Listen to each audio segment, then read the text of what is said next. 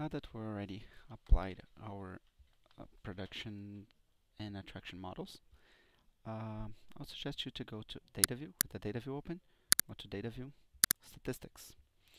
You're going to see that the total for productions and attractions for each one of the purposes I only have home base work here is different.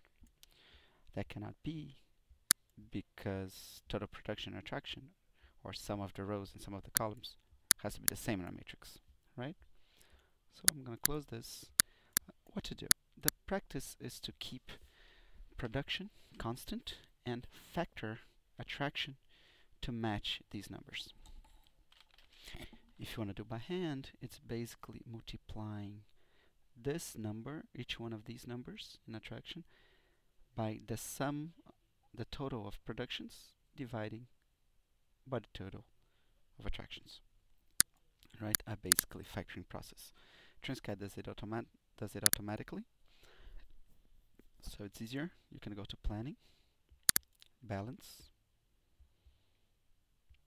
add a new balance here in this button.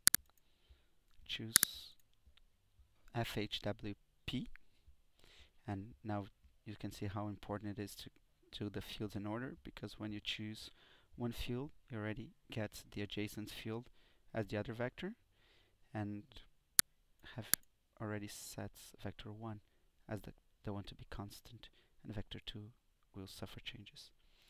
You can do as many uh, per chip purposes you want at once. I'm gonna do I only have this one to to do so I'll only do it do this one and I'll overwrite the field if you leave this one checked.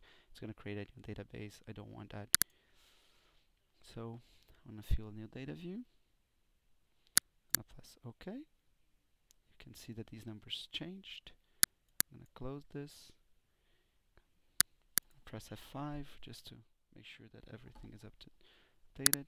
Data view, statistics. Now you see, I don't know if you remember, the total was around 10,200 now the totals match. Sometimes it's not going to match in the decimal. You can come back here and just by hand just adding or deleting or, or subtracting for one of the, the, the elements, the, the difference. It's not necessary. Uh, TransCAD can, can work with those around those differences. So now we have uh, factors that are balanced and we can keep on going with our project. Good luck.